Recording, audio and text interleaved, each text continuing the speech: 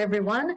Welcome to our Rockstar Hour, something that we wanted to touch on today, which revolves around mental health and well being. So, with all the frustrations I feel like they're sometimes coming through um, in this market, and uh, some of the discouragement that I feel like people who are reaching out to different employers and entrepreneurs, and they're just not, or business owners, and they're not hearing back. This is the time to definitely stay positive. I know it's hard, and being optimistic definitely involves a lot of effort, a lot of mindset work maybe a little bit of like a meditation uh, sneak uh, snuck in here and um, maybe a little bit of like more personal time where you can literally just kind of like chant some type of like a positive thought just like i'm great. I can do this. We can do this. We're in this together. A few things that i definitely wanted to mention here that we should keep in mind in uh, elevating our well-being in current times is sleep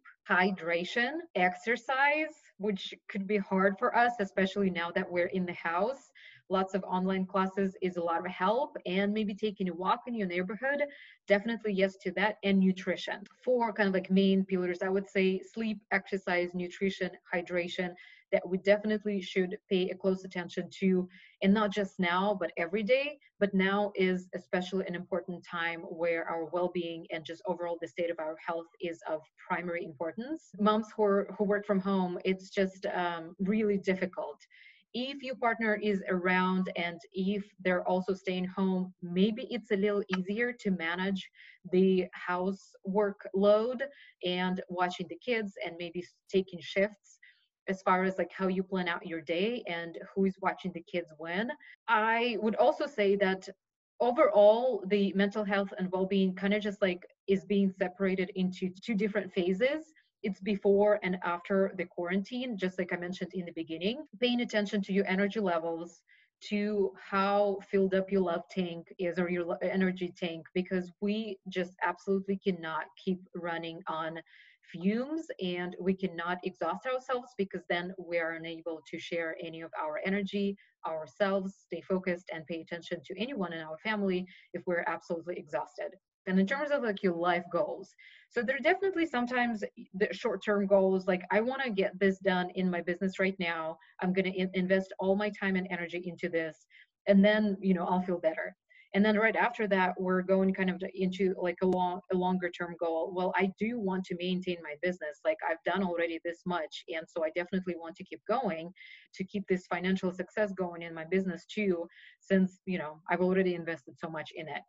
And then how about we look into the overall life goals? So do you want to be around there for your grandchildren you know like if you're planning to have children? Or do you want to be around there for your um, younger siblings or anyone uh, for your family? Do you want to be around not just to be there but energetically to be available?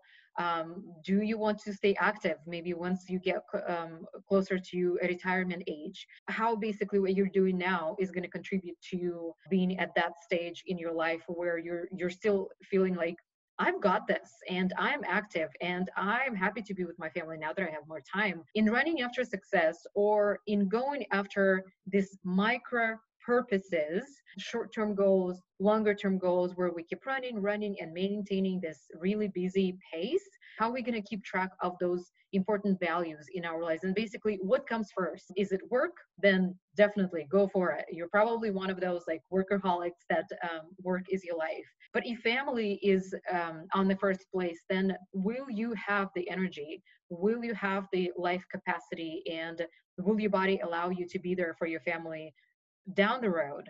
So that's basically kind of like the point that I want to drive here. While definitely considering various scenarios of a micro purpose, I want to just quickly get this done. I want to push through this, you know, at this particular moment in my business. I just want to knock that thing, one thing out, or I just want to power through that real quick. And then, you know, this is when the life starts. But you end up focusing on all these micro purposes, all those shorter term goals that kind of just become your longer term goals and your longer term scenarios of life where the pace is just way too fast and it becomes increasingly harder to reset your lifestyle to focus on the values that truly matter in life and they're truly important to us